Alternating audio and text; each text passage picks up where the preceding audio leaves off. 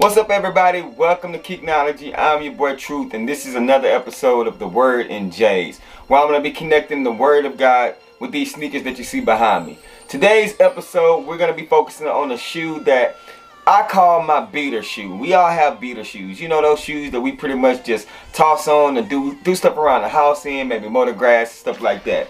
This shoe is actually one of my favorite shoes of all times and it is the He Got Game 13s.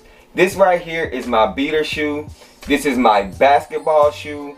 This is a shoe that I've done a lot of things in. And it's got the most wear and tear out of any sneaker that I own. Now, just to kind of show you guys a little bit of what this what I mean by the shoe, let me come up here. So this shoe has really been through it. You know what I'm saying? This is the toe box. You can see with my big toe, my small toe, but just between uh, running around on the basketball court where it's been affected by that. Look at the toe box right here. It's basically, hi you guys, you know what I'm saying? It's basically falling apart. Um, the bottom is, you know, like I said, it's, it's, it's worn. It's a very worn shoe. This is my shoe that, you know what I'm saying, come in, I need to go outside, I need to do some work, I throw this shoe on. So good, bad, and indifferent. This shoe gets all type of climates.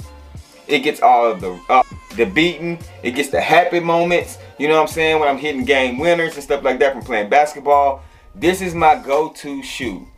This is the shoe that absorbs a lot. And look at it. It is still standing. Little beat up, you know what I'm saying, from the toe box. But it's still intact. This shoe represents the way I've been feeling the past week. It's been a lot of stuff going on in this world. And I've, I've been trying to wrap my mind around so many different emotions and feelings from the social injustice that we see on television, being a black man, being a Christian black man, having to go to work, still dealing with the COVID-19 and we act like that that's not going on. It's just been so many things that have called, caused me to feel beat down. I feel like every day that I wake up and I walk outside, I'm that beater shoe.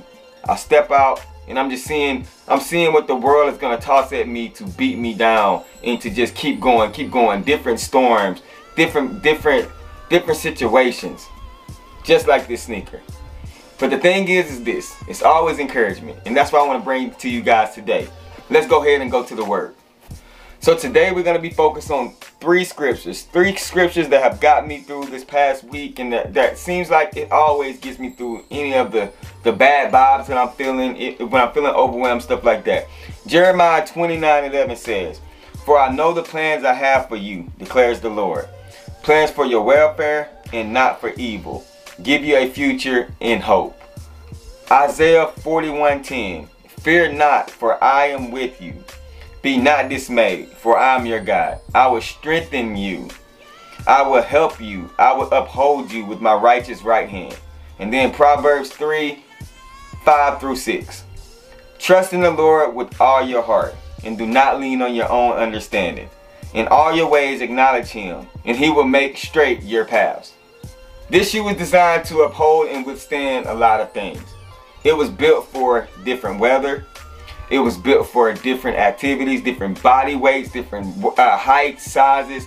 All those things was thought of when this was made, when this was created. I was made in that same way. I was made to withstand different storms. You were made to withstand different storms. You were made to be able to go out and encounter so many different things that your body, your mind, and soul should be able to withstand. Lean on God those verses are telling us to lean on God. Whatever you're going through, no matter how much, no matter how beat down you feel, no matter if you if you are that beat or shoe right now, no matter if you're that beat or shoe, lean on God. Trust in His understanding and not your own. Praying for each one of you guys to watch my videos. I appreciate you guys tuning in as always. Rock what you like, not what's hype. Wash them hands, man, and remember, these shoes behind me are just bait. A way for me to share my faith. I'm gone.